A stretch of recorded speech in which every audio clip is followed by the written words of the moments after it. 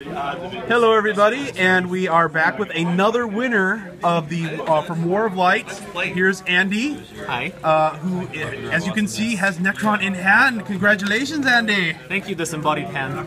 Yes. so, Andy, uh, what did you think of War of Lights, and what make what got you to this point? Uh, Green Lantern is probably the DC character I follow the most. And so when they started doing this event, I was very excited for the pieces, the sculpts. I really didn't know like how good or powerful they were gonna be. I wanted to be into it for the event. I missed I missed the previous event, AVX. I missed most of Fear itself. So it was the first big event I could be part of. And man, I'm I'm glad I stuck with it. Yeah, that Nekron is a good-looking figure, Yeah. and uh, gonna get a lot of play, maybe. Uh, definitely. I'm gonna play every chance I get. Uh, Open play, constructed. I'm still gonna bring it sealed. I'll I'll fix it in.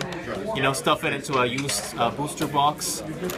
He's he's making it every time I come down to Morningstar in Savannah, Georgia, to play HeroClix. He's just to be welded onto your hand.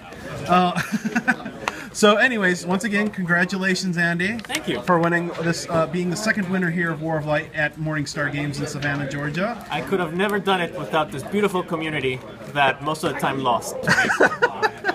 All right, folks. Uh, all right.